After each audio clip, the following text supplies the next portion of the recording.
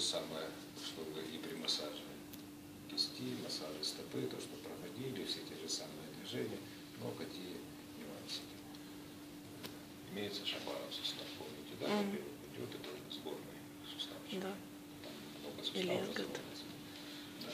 То есть так тоже довольно часто, особенно при плоскостопии, при нарушении, при подвывах, при валюсных, валюсных изменениях в голеностопном суставе тоже бывают подвывихи, тоже достаточно болезненно. То есть начинаете, тоже массаж сделаем, подвигаем плюсом, перед плюсом и пальцы. Тоже сгибание, разгибание. Каждый палец вместе, все пальчики. Дальше. Это сгибание. так классно. Одновременно тогда идет у нас. Фиксируем стопу и пальцы сгибаем. Здесь и голеностопные, и коленные. Это комбинированное движение. Разминаем здесь. И вот это движение. Фиксируем голеностопный сустав. Фиксируем выше, вернее ниже шапарного сустава. И ротационное движение. В одну сторону. То же самое в другую. Потом фиксируете основаниями ладоней свод стопы, большими пальцами выше шапарного сустава и вот это движение. Не в голеностопном суставе, а большими пальцами выше. А здесь эти пальцы в проекции сустава. Движение. А основание ладони не дает двигаться всей стопой. Понятно, да? Можете акцентированно на каждый суставчик пальцев, можете сразу. Так, дальше по стопе. Фиксируете свод стопы, таранную кость, берете пяточную кость и движение вот это. Мгм.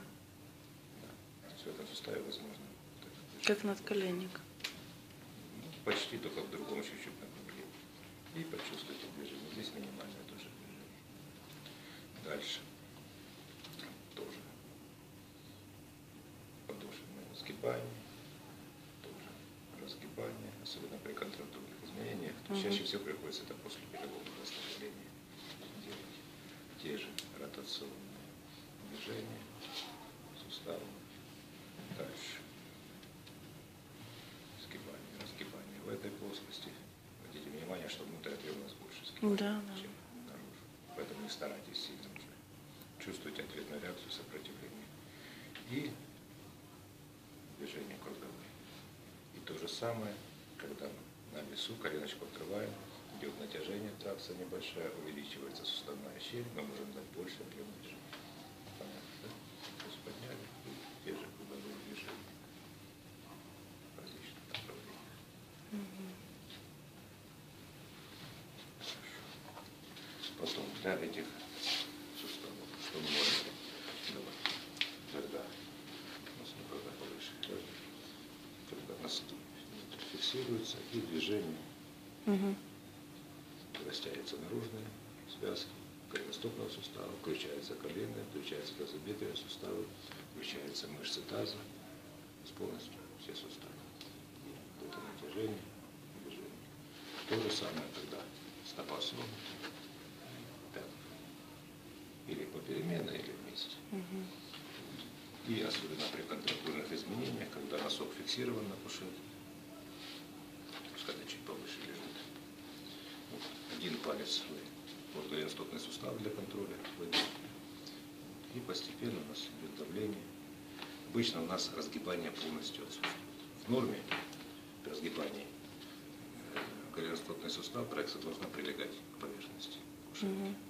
При контрактурных изменениях это войну. То есть у нас получается большой зазор.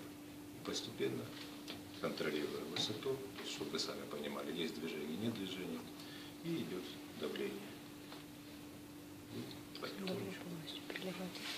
Ну, надо этого добиваться, но не всегда это получается. И смотрим, а когда уже вы достигли полностью э, прикасания поверхности, то есть уже объем почти разработан для он недостаточно. Мгм. Понятно, да? Ну, Стопу попробуйте, потом давайте колено. Да.